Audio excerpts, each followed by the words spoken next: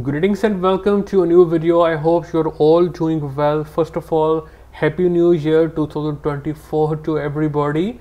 In this video, we will be covering important jailbreak updates and we have some good news.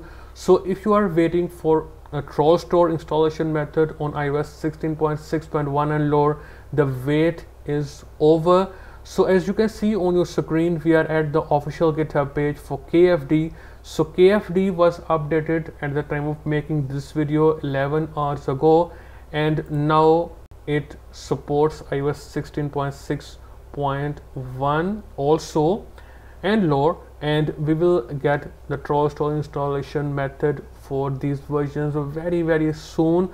And if I talk about a full jailbreak iOS 16.5.1 and lower has everything we need for a full jailbreak. However, for iOS 16.6.x, we still need a PPL bypass.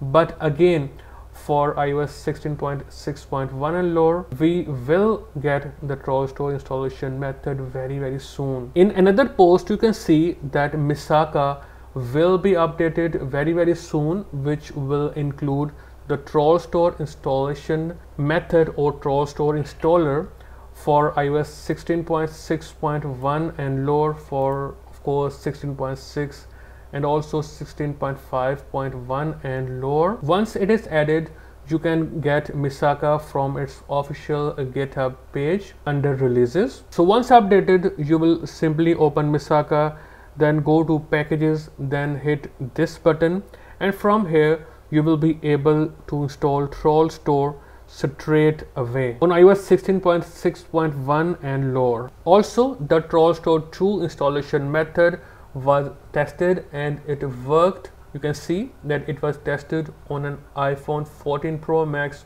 on iOS 16.6.1 by Nathan and you can see it is properly working. Also, if you talk about the KFD, it was also tested to work on iOS 16.7.2 though it is missing some offsets but it should be fixed. Also as you can see according to Michael who is a trusted person in the jailbreak community he says that the new KFD likely also works on iOS 16.7.4 so you will likely get a new app based jailbreak also for your ARM64 devices meaning all your A11 and lower devices. Last but not the least you can see this post by Opa334.